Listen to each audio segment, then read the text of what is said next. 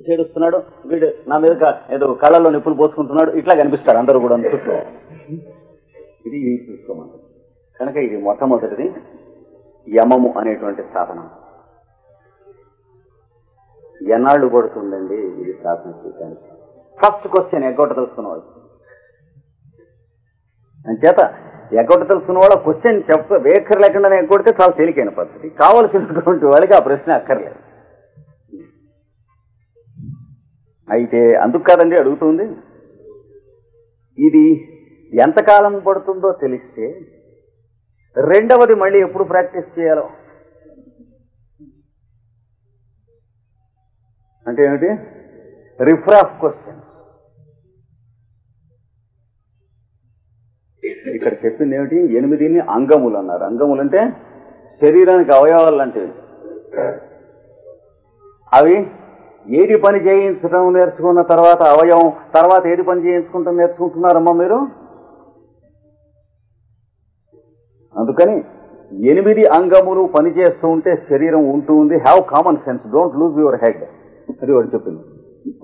అలాగే ఈ ఎనిమిది అంగములు సైమల్టేనియస్గా అభ్యసించవలసినటువంటి మొదటి నాలుగు మీరు అభ్యసించేవి తర్వాత నాలుగును మీకు వచ్చు కనుక ఇలాంటి మధ్యన మిమ్మల్ని సందేహంలో పెట్టేటువంటి వాళ్ళు వేసే ప్రశ్నలు ముందు తొలగించారు.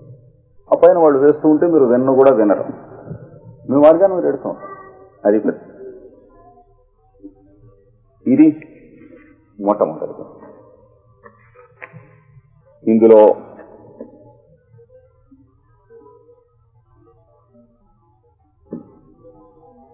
అహింస అంటే ఎంతవరకండి? కాయలు తింటే హింస కదా? జంతువులు తింటే హింస అని ఒకడు. ఇంకోడు మరి మేం బెంగాలీసం కదా? అహింస ఎక్కడి వరకు? అంటే ఫిష్ ఎలవుడా నాట్ ఎలవుడా ఇట్లా ఎవడెవడిని బట్టి? వాడి వాడికి వాడు ఉన్న స్టేషన్ని బట్టి వస్తూ ఉంటాయి ఆన్సర్స్ బాబు నిన్ను యోగాభ్యాసం చేయమని కాళ్ళు గడ్డాలు పట్టుకుని ఏవడు బతిమాలలే ఇది. యూనివర్సిటీలో టెక్స్ట్ బుక్ పెట్టించుకుంటాం కోసం నానా జతల కాళ్ళు పట్టుకుంటాం కాదు కదా. వాళ్ళు మనం బాగుపడే రోజు వస్తే చదువుకునేందుకు రాసి ఎక్కడ పడేశారు? కావాలంటే చదువుకునేది లేకపోతే చక్కపోయేది అందుకని యోగాభ్యాసములో చెప్పబడినటువంటి ఈ స్థితి కావలసిన వారు ఈ స్థితి అనుభవించండి. అయితే కాయలు కూడా తినవద్దా?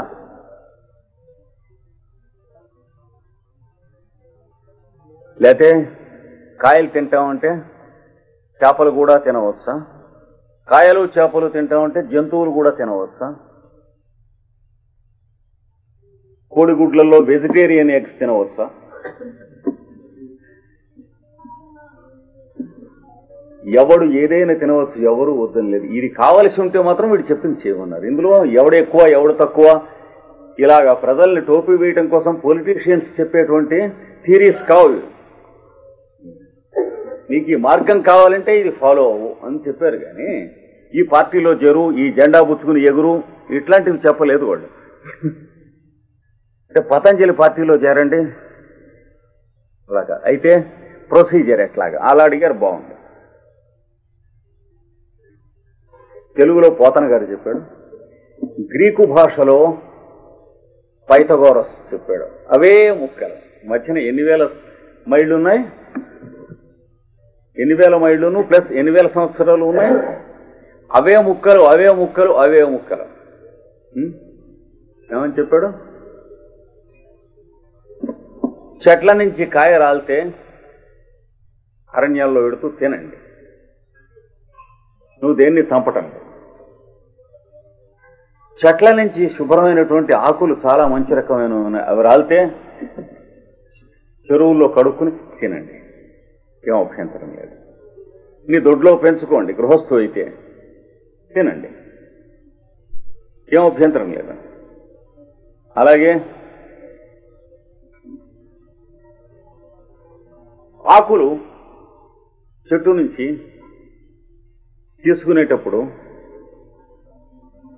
చెట్టును పెలగిస్తే చనిపోతుంది. అలా కాకుండా ఆకులు తీసుకుని చెట్టు ఉంచండి. ఇది పద్ధతి. అలాగే జంతువులు తినరాదా తప్పకుండా తినవచ్చు.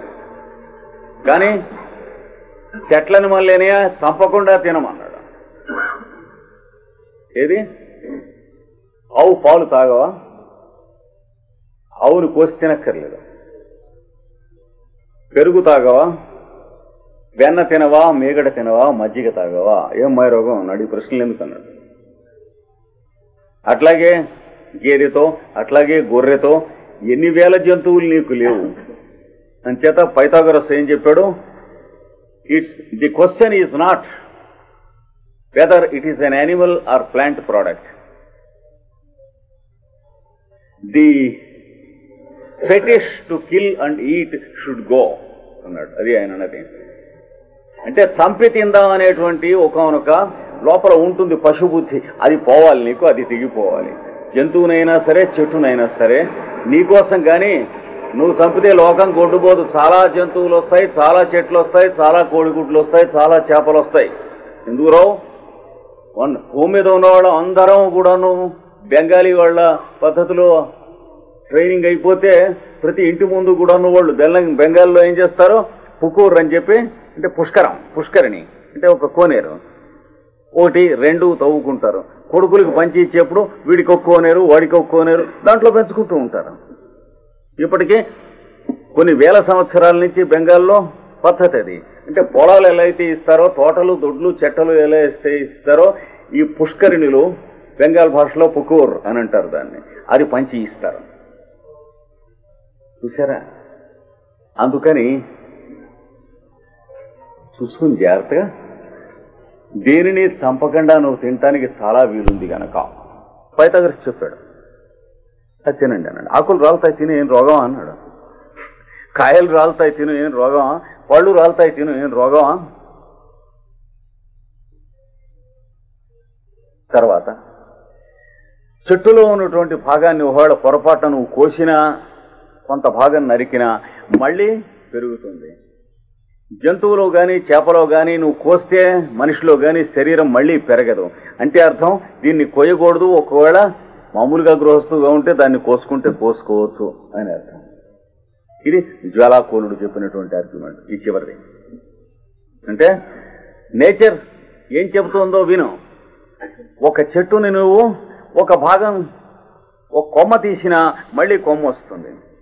ఒక జంతువుకి ఒక చెయ్యి కాలు తీసినా మనిషికి చెయ్యి తీసినా ఒక చేపకి సగం ముక్క తీసినా మళ్ళీ రాదు చస్తుంది అంటే అర్థం ఏమిటి? దాన్ని చంపకుండా దాని దగ్గర నుంచి ఆహారం తీసుకో జంతువు దగ్గర నుంచి. దీంట్లోంచి కొంత ముక్క అప్పుడప్పుడు కావాలంటే తీసుకో యోగాభ్యాసం చేస్తుంటే అది కూడా మానేయాలి. అంటే try to learn nature's language and what she teaches అది వేలాకోరుడు చెప్తాను కనుక అహింస అంటే సత్యము. సత్యం అంటే? ఉన్నదన్నట్టు చెబుతాం. ఉన్నదన్నట్టు చెప్పడం కాదు సత్యం. ఉన్నదన్నట్టు చెప్పడం ఒక్కటే కనుక సత్యం అయినట్లయితే టేపు రికార్డర్ నీకన్నా మొనగాడైన సత్యం. ఇప్పుడు తగ్గితే అది కూడా చూస్తుంది. అందుకని అలాంటి డొక్కు సత్యం కాదు ఇక్కడ. చెప్పింది సత్యం అనేది ట్రూత్ఫుల్నెస్ తప్ప ట్రూత్ స్పీకింగ్ ఒక్కటే కాదు. యాటిట్యూడ్ అది జాగ్రత్తగా తెలుసుకోవాలి. దానికి దీనికి తేడా. అంటే ఎందుకోసం సత్యం అభ్యసిస్తున్నారు? పది మంది క్షేమంగా ఉండటం కోసమే కదా? కదా. సత్యం దేనికి అభ్యసించమన్నారు మిమ్మల్ని? నువ్వు ఇంకోటి టోపీ వేయకుండా ఉండేందుకు కదా? అలాంటప్పుడు మీ ఇంట్లో కుర్రాడు మనవడు కోపం వచ్చి అన్నం తినడు అనుకో తినడంటే వాడి వాడి తల్లి మన సినిమా పోదా నాన్న అన్నం తిను అని అబద్ధం ఆడుతూ ఉంటుంది. నువ్వు యోగాభ్యాసం చేస్తున్నావు కనుక చీ తప్పు అబద్ధం ఆడకూడదు. మన సినిమాకి పోనే పోం ఈవేళ ఇలాంటి వెదవేషాలు కదా సత్యం అంటే.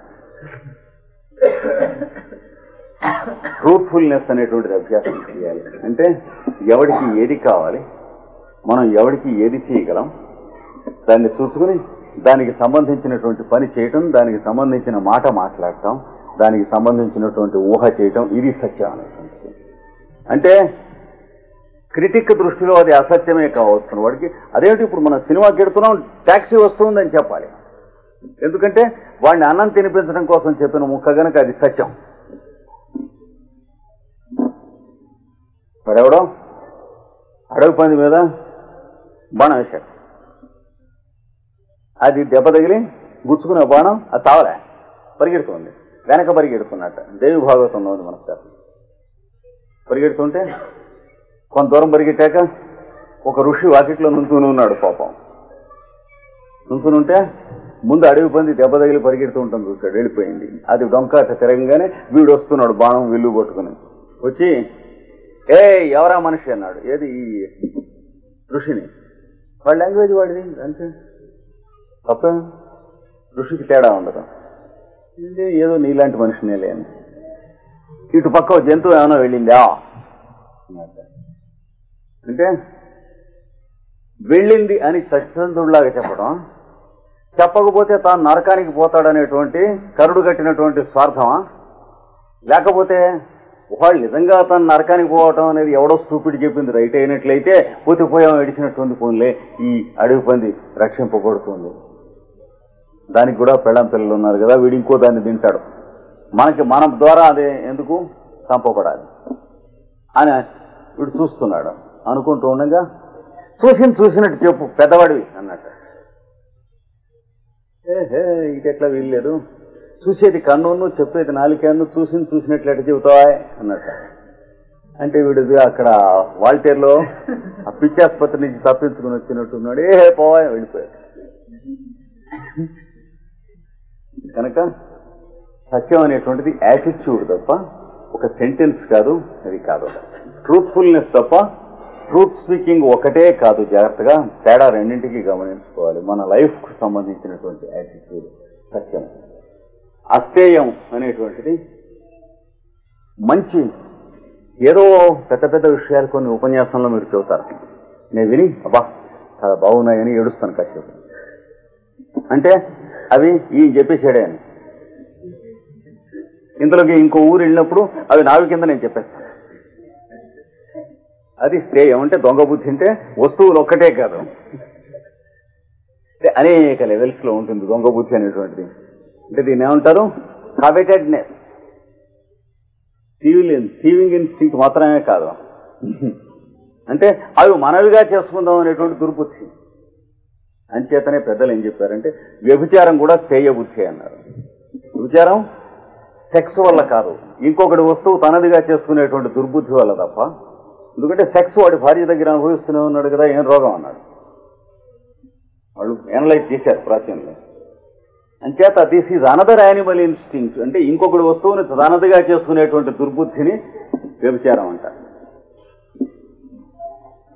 కనుక అస్థేయం అంటే అది